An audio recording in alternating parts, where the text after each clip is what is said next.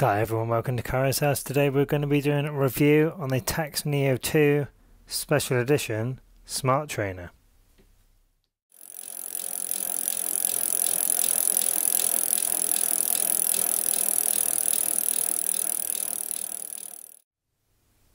Hi everyone, welcome to this almost nine month review of the Smart Trainer. I'll put up on the screen um, how many miles and kilometers I've ridden on it because I don't know to hand. I'll look up on my Zwift history and I'll put it up on the screen now.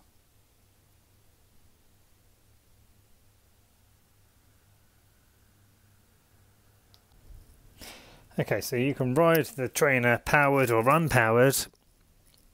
The power for it is there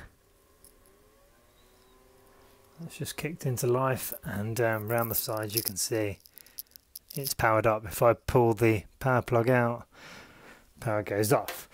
Difference between riding powered and unpowered is it doesn't freewheel.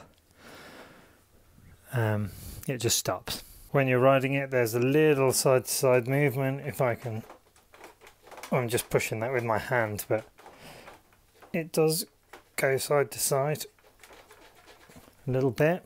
I always ride it powered, so I'm not sure if the real road feel works if it's unpowered. I don't know on that particular function. And um, we've got our magnets in there in the drive.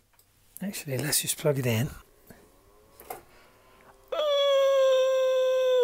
that hurt really badly.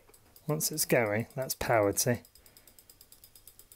It turns around. And um, once I pull it out, it just stops. So it doesn't freewheel. Look at that. I got my finger jammed in the cassette. Oh, that hurts. Okay, let's carry on. There's a blood pouring out my hand. So, real road feel. Amazing. Oh, that hurts so bad. Right, I've come down this end because there's loads of stuff over there. So real road feel is exactly what it says. So when I'm riding on Zwift, if I go over the little bridges, um, it comes from the trainer, from the electromagnets in the trainer, it, it kind of just jerks. So it's like vibrating the bike. Along when you go in through the jungle sections, it's like gravel. So it will, on the power stroke, um, it kind of grinds a little bit. So it will be is all. That's the only way I can describe it. You have to actually ride it to to fully appreciate it. You've got on the Tacx version, you've got a demo of all of the road feels. You can put up and down how much road feel there is. When you first start on the road feel, I found it a bit too much. It was like going from nothing to instantly having the bike vibrating around and but now very quickly you ride at 100%. Um, actually, I'll just video them on the iPad and uh, see if you can hear the the trainer kicking in. Okay, so I'm on the bike. I've just connected my iPad up to, well, it's just the Tacx training app and this is the real road feel demo. Just coming up to the cattle grid. And that's what, it, I don't know if you heard it, but that felt hor- like horrendous riding through that. Hard cobbles.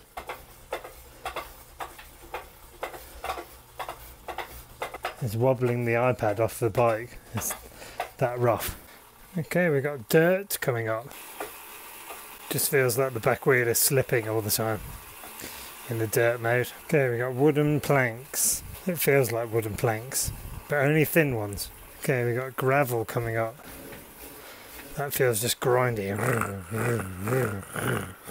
And it's harder to pedal through as well. So, and last we've got ice. Hmm, the gradient change makes it a bit harder, but let's have a look. Oh, God, my wheel just slipped. It did. Wowee.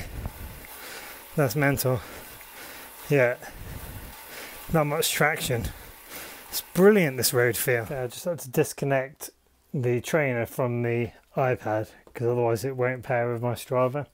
So that's the real road feel. That's the the bit I like about this trainer. It's the only trainer I've actually had. I think now riding a trainer without it would be a little bit, it just wouldn't be proper. You know what I mean? Having all those, having the bumps and having the uh, riding on the wood and riding in the gravel and riding just with that tactical feedback, tactical, tactile feedback. Another thing I liked about it was having the power with the trainer. I can get a proper power readout, proper cadence. It's all on the screen. So if you're doing workouts, it's really easy to stay on track and also um, get your FTP numbers up. You can do that um, really easy. Like when you're pedaling along, if you're in a pack, if it's like above where you can hold your threshold, you're just like, oh, I'm never going to be able to hold this and just drop back into the pack behind or something. It's been quite interesting for me coming from not having one to actually having one, like how tactical things can get and and like pushing yourself and just it's taken indoor cycling to a new level as far as I'm concerned, both with Zwift and the trainer and the um, Zwift Play, which you saw on last week's video. Just fantastic. I can't recommend the trainer enough. Um, you've seen the unboxing video. If you haven't, go and watch it because you'll see all the bits that come with it and all the different bike frames that you can put on it. Okay, guys, that's the review on the Tacx Neo 2 Special Edition Smart Trainer. Any questions you've got, just ask me in the comments. I'd be more than happy to answer them. Apart from that, that's it. And we'll see you on the next Kyro's house. Take care, bye.